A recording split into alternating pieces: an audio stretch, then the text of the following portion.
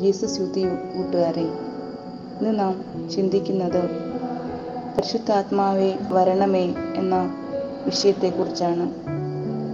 പരിശുദ്ധാത്മാവ് ഒരു ദിവ്യ രഹസ്യമായിരിക്കുന്നത് പോലെ വിശുദ്ധീകരണവും ഒരു ദിവ്യ രഹസ്യമാണ് യഥാർത്ഥ വിശുദ്ധർ നിശബ്ദമായും ശാന്തമായും ജീവിക്കുന്നു. കർത്താവിന്റെ വചനം നമ്മുടെ ഹൃദയത്തെയും ആത്മാവിനെയും ജ്വലിപ്പിക്കും. പാപക്കയത്തിൽ മുങ്ങിത്താഴുന്ന മനുഷ്യൻ ദൈവത്തിന്റെ വചനങ്ങൾ അനുസരിക്കുമ്പോൾ അവന്റെ ഹൃദയത്തിൽ അഗ്നിയുടെ ജ്വലനമുണ്ടാകുന്നു. പാപം ചെയ്ത് അന്ധകാരത്തിൽ ആണ്ടുപോയ മനുഷ്യനിൽ പരിശുദ്ധാത്മാവിന്റെ അഗ്നി കടന്നു വരുമ്പോൾ വെളിച്ചമുണ്ടാകുന്നു.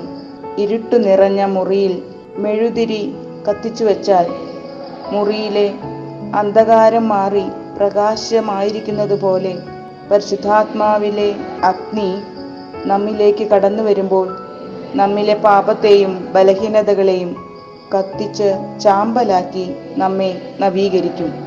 ആത്മാവ് നിറഞ്ഞ ഒരു വ്യക്തിയുടെ മുഖം ശോഭയോടെ പ്രകാശിക്കുന്നു. ഇത് പരിശുദ്ധ ആത്മാവ് ഉള്ളിൽ പ്രകാശിക്കുന്നത് കൊണ്ടാണ്. അപ്പസ്തോല പ്രവർത്തനം നാല് മുപ്പതിൽ പറയുന്നു അവിടുത്തെ പരിശുദ്ധനായ യേശുവിന്റെ നാമത്തിൽ രോഗശാന്തിയും അടയാളങ്ങളും അത്ഭുതങ്ങളും സംഭവിക്കുന്നതിനായി അവിടുത്തെ കൈകൾ നീട്ടണമേ. കോവിഡ് പത്തൊമ്പതിന്റെ കരാളഹസ്തത്തിൽ വ്യക്തികൾ നീറുമ്പോൾ പരിശുദ്ധാത്മാവെ അവരുടെ ഓരോരുത്തരുടെയും ജീവിതത്തിലേക്ക് നീ പതിക്കണമേ. ലോകത്തിന്റെ എല്ലാ ഭാഗങ്ങളിലും കടന്നു ചെന്ന് അവർക്ക് സൗഖ്യം കൊടുക്കണമേ.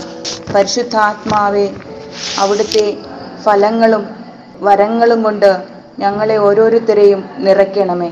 ഒരു വലിയ ശക്തി ഞങ്ങളുടെ കല്ലുപോലെയുള്ള ഹൃദയത്തെ ഉരുക്കി മാംസളമാക്കി മാറ്റുവാൻ അവിടുത്തെ ദിവ്യശക്തി ഞങ്ങളിൽ ഉണർത്തണമേ.